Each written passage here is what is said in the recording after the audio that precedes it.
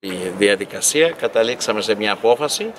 Εμείς ε, που εκπροσωπούμε τους δύο κατηγορούμενους, τους βασικούς κατηγορούμενους, ε, θεωρώ ότι είμαστε ικανοποιημένοι από την απόφαση.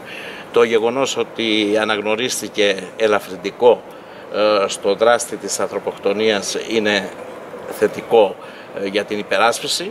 Ε, επίσης οι παραδοχές ως προς την, το θέμα το ποιος ήρξα το χειρόν αδίκων, δηλαδή ποιος επετέθη πρώτος ε, και προκλήθηκε αυτό το τραγικό συμβάν η παραδοχή της απόφασης είναι επίσης θετική για τους κατηγορούμενους διότι δέχθηκε η απόφαση ότι η επίθεση έγινε από την άλλη πλευρά ε, το γεγονός αυτό βάζει υποθήκες για το δευτεροβάθμιο δικαστήριο για μια καλύτερη απόφαση.